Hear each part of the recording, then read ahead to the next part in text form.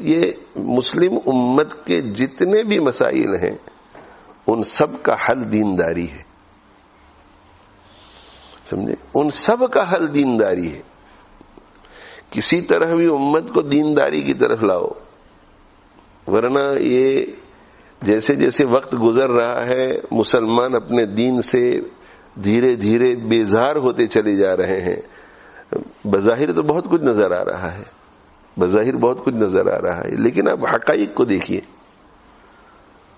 हकाइक को देखिए। हमारे नजरियात कितने बदल गए दीन के मामले में। हम कितने लिबरल हो गए दीन के मामले में। कितने आज़ाद हो गए दीन के मामले में। जो ओलमा नहीं है, वो खुद फैसला करने लग गए कि ये सही है, ये गलत है। उनको मुफ्तियों की हाजत नहीं है, वो खुद ही फैसला कर लेते हैं। वो ये नहीं देखते कि जिस शख्स की बात सुनकर के हम एक फैसले या एक नतीजे पर पहुँचे हैं, वो नजरियाती एतबार से, अकीदे के एतबार से क्या हैसियत रखता है, अहले हक कौन है? अहले बातिल कौन है? हमें कुछ पता नहीं। खुद हमारी अपनी अकल भी खूब चलती है। और दीन का सिर्फ़ नाम लेते हैं अपने फ़ायदे के लिए। तो जाहिरी एतबार से, जाहिरी एतबार से यूँ लगता है कि बड़े बड़े जलसे हो रहे हैं बड़े बड़े कॉन्फ्रेंसेस हो रहे हैं, और बड़े बड़े इज्तिमात हो रहे हैं, मजालिस में लोग बहुत आते हैं, एहतिकाफ में लोग बहुत जमा होते हैं उम्र हज के लिए लोग बहुत जाते हैं, दीन को बहुत फरोग हासिल है। नहीं, दो चीज़ें आप देखिए। एक चीज़ ये देखिए कि लोगों के ख्यालात में कितनी तब्दीली आ रही है। गुना हो गया तो कोई हरज नहीं, कोई किसी को दुख नहीं होता गुना हो जाने पर। अल्लाह की नाफरमानी पर किसी को कोई दुख नहीं होता। बेपर्दगी से किसी को दुख नहीं होता। शादियों में जो खुराफात होते हैं, जिन खुराफात के नतीजे में किसी जमाने में शर्म से लोगों के सर झुक जाते से कुछ भी नहीं होता। हया का जनाजा निकल चुका है। हया जैसी चीज़ भी नहीं है। ज़ाहिर में निकाब भी है, ज़ाहिर में बुरका भी है, सब कुछ है ज़ाहिर में। मगर अगर औरतें सामने से आ रही हो, बुरका पोश, निकाब पोश, मर्दों को साइड पे हट जाना पड़ता है। मर्दों को हटना पड़ता है। मैं ये नहीं कहता कि मर्दों को तरजीह हो या औरतों को तरजीह हो, ये मैं कोई फैसला नहीं कर रहा हूँ। लेकिन हया होती है ना। हया। जैसे छोटा भी जा रहा है, बड़ा भी आ रहा है तो बड़े को देखकर छोटे जरा इसे साइड पे हो जाते हैं, हया आ जाती है। तो औरतें जो कि पर्दा की चीज़ है तो औरतों में फितरतन हया होती है। और हमने 1970s का जमाना देखा कि मुश्किल से बाहर कोई निकाब में औरत नज़र आती थी। मुश्किल से कोई। बल्कि यूँ समझो कि कोई नज़र ही नहीं आती थी निकाब में। और हिजाब में भी खाल खाल वही जो देहातों में रहने वाले यहाँ आए थे, इंडिया से भी, पाकिस्तान से भी, बांग्लादेश से भी तो ओढ़नी ओढ़नी ओढ़ते थे, मगर सामने से भी बाल नज़र आते थे।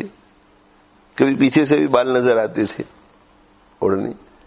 लेकिन अगर वो औरतें रास्ते में चल रही होती थी, और दूर से उनको कोई मर्द आता हुआ नज़र आता था तो वो दूसरी तरफ़ चली जाती थी, रोड क्रॉस करके। वो दूसरी गली में चली जाती थी और उधर से नीचे उतर जाती थी। अच्छा मौसम हो और कोई औरत जो है वो बाहर दरवाजे के पास खड़ी होकर के ऐसे दाएँ बाएँ देख रही हो, बाहर के मौसम से लुत्फानंदोज हो रही हो, और जरा उसको नज़र आए कि कोई मर्द आ रहा है तो फ़ौरन अंदर, दरवाज़ा बंद करके। ये मैं ये अर्ज़ कर रहा हूँ कि फितरी हया अंदर थी।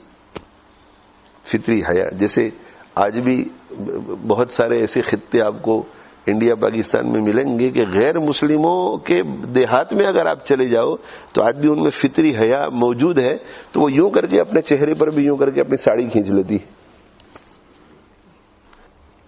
तो ये अच्छी अच्छी अच्छी जो चीज़ें अंदर थी, वो अब बाकी नहीं रही। तो अकीदे के बारे में ख्याल बदल गए अकाईद के बारे में, उसूल जवाबिद के बारे में, शरी उसूल के बारे में, नजरियात ख्याल वो कोई नहीं देखता। मस्जिदें भरी हुई हैं, सबको बहुत अच्छा लगता है।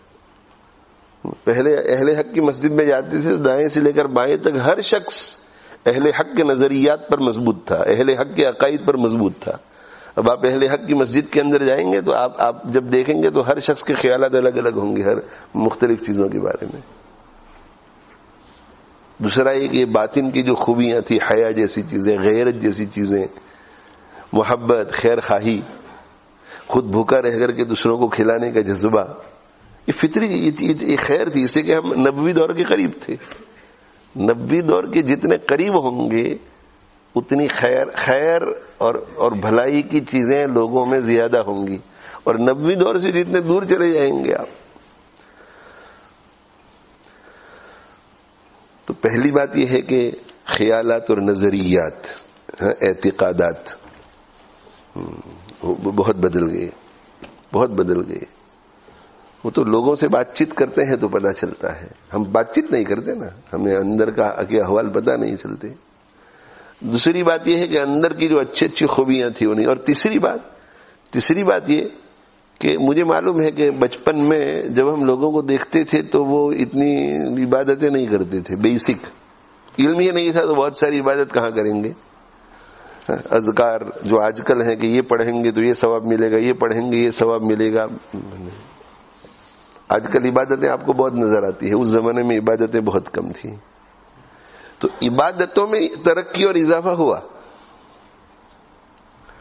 लेकिन 1970s और इस वक्त इस वक्त में ये चालीस ये 50 साल में 40-50 साल में नेकियों में जितने परसेंटेज का इजाफा हुआ है, उससे बुराइयों के अंदर कई गुना ज़्यादा इजाफा हुआ है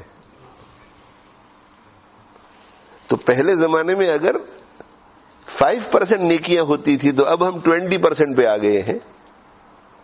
और पहले जमाने में अगर फाइव परसेंट गुना होते थे तो इस वक्त हम थ्री हंड्रेड परसेंट गुनाहों में आ गए हैं। वो जो हमारे देहात के लोग हैं ना, आज भी लोग कहते हैं कि भाई इनको इतना अच्छा खातिमा क्यों नसीब होता है देहात के लोगों को, बूढ़ों को? कि इनको तो कुरान पढ़ना नहीं आता। इसलिए कि मकतब की तालीम ही उनकी नहीं हुई थी। और फिर खातिमा इतना अच्छा कि कलिमा पढ़ते पढ़ते जावे तो वजह उसकी यह है कि अच्छे और बुरे खातिमे का पूरा मदार बातिन की गंदगी और सफ़ाई पर है। तो उन लोगों की जिंदगियों में गुनाह नहीं थे, गिबत नहीं करते थे, झूठ नहीं बोलते थे, धोखा नहीं देते थे, दिल में किसी के लिए कीना नहीं रखते थे। तो हमें जो है अपना बहुत ख्याल रखना है, अपनी नस्लों का बहुत ख्याल रखना है, अपने पड़ोसियों का ख्याल रखना है, अपनी बस्ती में रहने वालों का ख्याल रखना है।